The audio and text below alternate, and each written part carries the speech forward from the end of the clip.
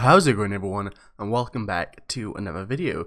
So a quick announcement, me and Amay are hosting a pirate costume contest.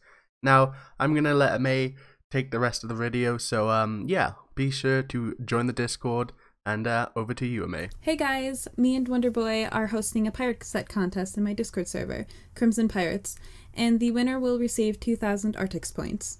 To join, click the link and post your pictures in the channel named Costume Contest. Keep in mind, I will only be accepting one picture per person. Good luck!